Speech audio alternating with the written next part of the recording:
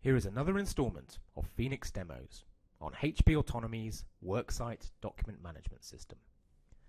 This video shows the benefits of using Worksite Mobility for iPad.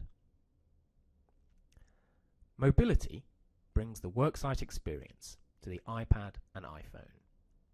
It allows you to retrieve and modify your documents when you're on the move.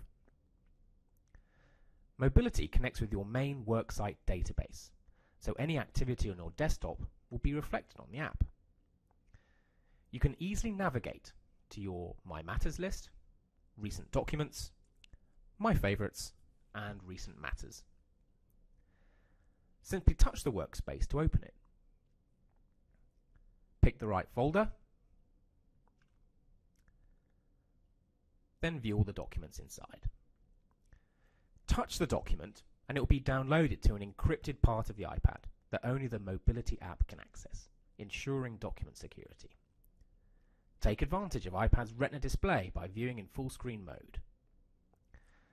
Open your document in third party apps and then save any changes back to Worksite as new versions. Or if you want to share your work, you can email copies or links to your document. Once downloaded, the document will be saved to the virtual briefcase, so that even if you're offline, you can still work on your document. Or, if you're connected via Wi-Fi, 3G, or 4G, you can utilize the IDOL-powered search engine to quickly find documents, workspaces, folders, and emails. You can search by description, client, matter, or by document reference number.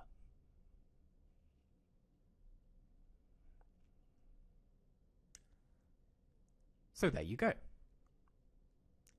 Take Worksite wherever you go with mobility for iPad.